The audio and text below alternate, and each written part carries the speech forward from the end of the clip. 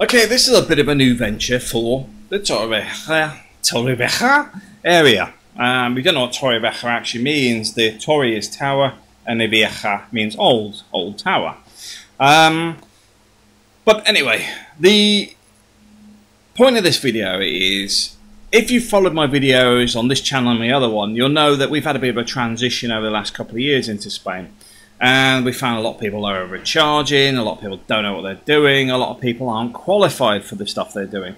Um, one of the problems being in Spain is a mechanic doesn't need to be a mechanic. Um, a lawyer often isn't a lawyer. An accountant often isn't an, an accountant. I hate all that. Um, I'm a very specific type. If you say you can do it, I want it done. That's why I'm employing you. Um, so this is where we're going. I've spent a bit of time getting a couple that are both lawyers um, on board for this new venture. Um, I've also got a accountant and gestor. So we can do all the legal processing. We can do all your documentation. We can do things like the investigations for the surveys for your house. Is there any debt on it? Who owns it, etc. We can do that. Is there a mortgage on there? We can do that for you.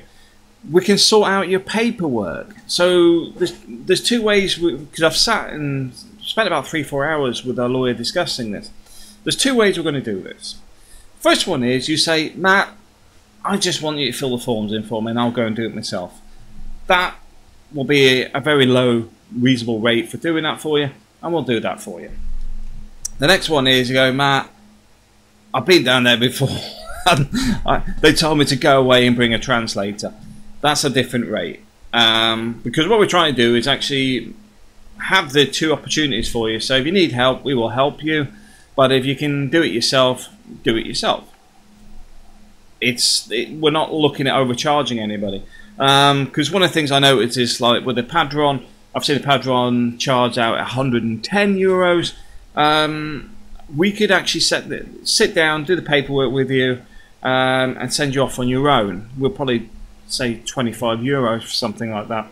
Um, because we'll get all your paperwork in order with you. So you just go in there and it's very done and dusted very easily.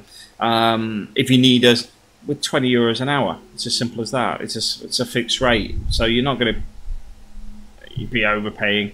Um, and even that, we could turn around and say, go down there, get the ticket, and then give us a call once you've got the ticket, and we'll come in because that'll save you like at least 20 euros in time where we've gone there and stand with you while you get your ticket.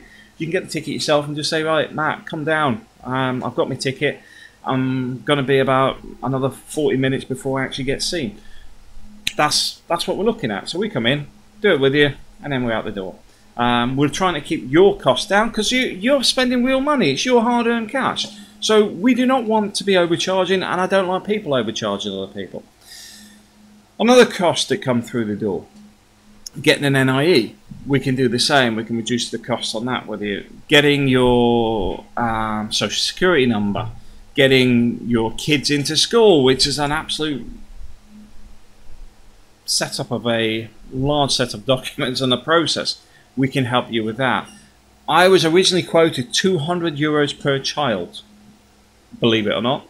Um, it wouldn't cost you anywhere near that because most of this running around, we will say to you, come into our office, we'll look at your paperwork, tell you what you need, you go, you know, for example, you need your, your, the medicals. So we'll say you need to go and get your SIP card from X and then come back. SIP card's a Spanish medical card. Um, just so we'll say go to that clinic. That's your nearest clinic. They'll sort that out for you. Do this, do that, do that. We'll tell you where to go, um, because obviously that is how we reduce the cost. But if you say, Matt, do it for us, we'll have to sit and work out a fee on that because it's not too bad if we've got a few people to do. But if it's just yours and you want it done quickly, then obviously there'll be some negotiation in there. But we're not looking at overcharging. What we're trying to encourage people is to try and take some ownership of the, some of the paperwork process and to make your life easier. The same goes with accounting. Um, we're trying to develop an accounting system where you actually know what expenses you can charge and how to actually charge them. Um, you know, because you need certain receipts and things. And most of the people I've spoken to, I've sort of worked it out by themselves. I want it, that costs you money. You're paying accountants to actually do your accounts, but they don't tell you how to fill the things in. That's what this new service is going to do. It's going to deal with that issue. Um, so the, if you set a business up, you know what you can charge. Say, right, you can charge for a third of your electric. What telephone bill you can charge for? Can you charge for your computer equipment? Uh, you know your general expenses. What can you get away with? This is what we're aiming to do. Instead, because I know a lot of people just pay it and just go, okay, uh, the accountant deals with it. You're spending too much money on tax. I'll tell you that now. There's other things you could be claiming for that would actually recover the cost of your accountant in the excess tax you're paying.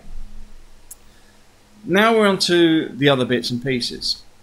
When you need something like a utility bill cancelled or changed, name change, or your internet's not working and you want to cancel it, um, or something else, some of these places will go, We've got people that speak English. Yes, but when you pick up the phone, it's all in Spanish and it goes press 3 for blah blah blah, press 5 for blah blah blah, all in Spanish. At no point do you hear the word inglés, uh, which is the only word you want to hear because that'll put you through to the right person. We're offering a service where we can phone on behalf of you. So we can actually deal with a lot of these things for you. And it doesn't matter what it is. If you're actually trying to get something done at a certain office, maybe even you need somebody to go to the doctors with you because you've got a problem with sore throat or whatever, we can actually help with that. We're trying to create a service that will make life easier for expats generally. Because one of the things I did notice is the average expat in Spain is not a spring chicken. Um, they're an aging population in many ways, and I think they get exploited a lot. And I want to be a service that's actually helping rather than costing people a lot of money.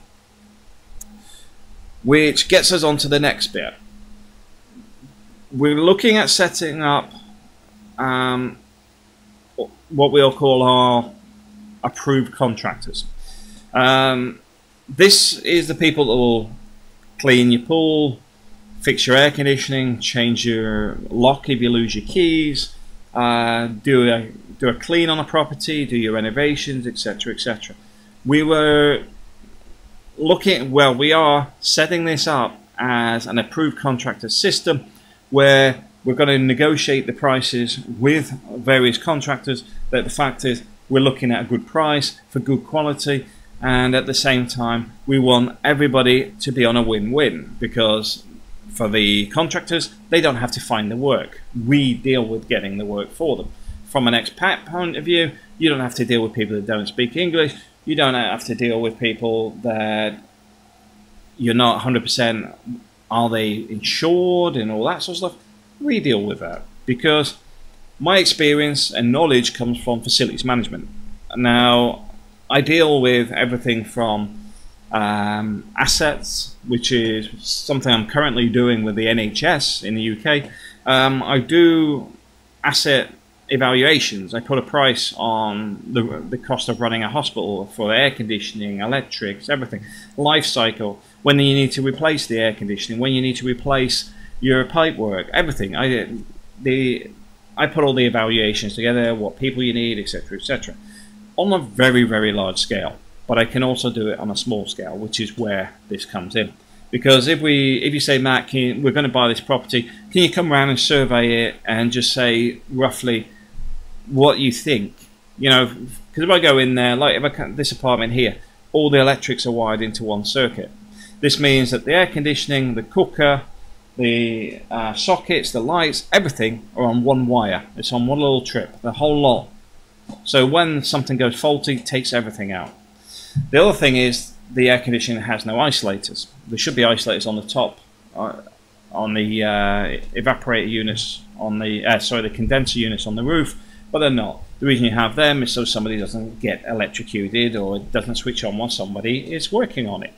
Um, I know EU regulations and standards. So I can come in there and say, this, this is it. And I know somebody's going to say, yeah, but they don't do that in Spain. that doesn't mean they shouldn't be doing it. What I do is I turn around and give you some recommendations.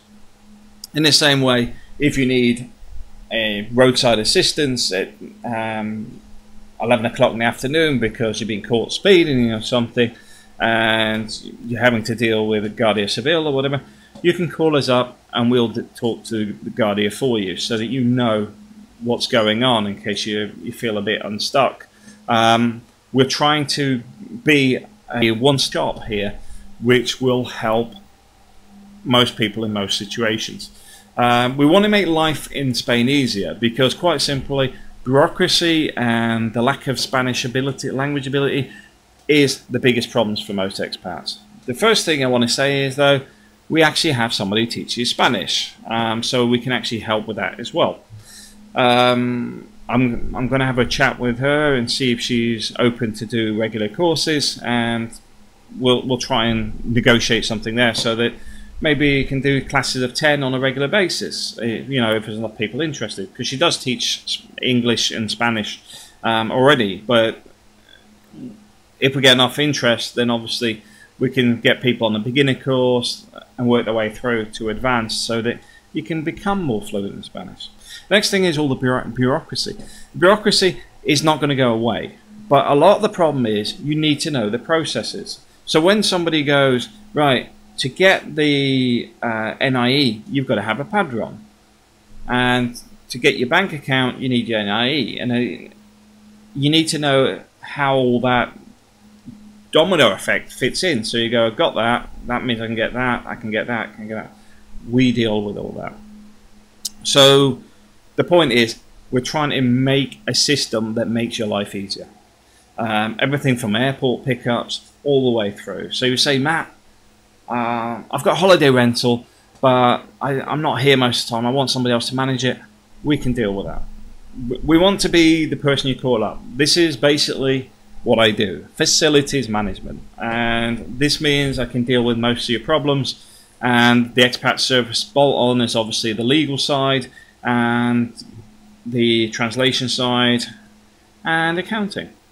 So let me know what you think. But bear in mind, it's not just me.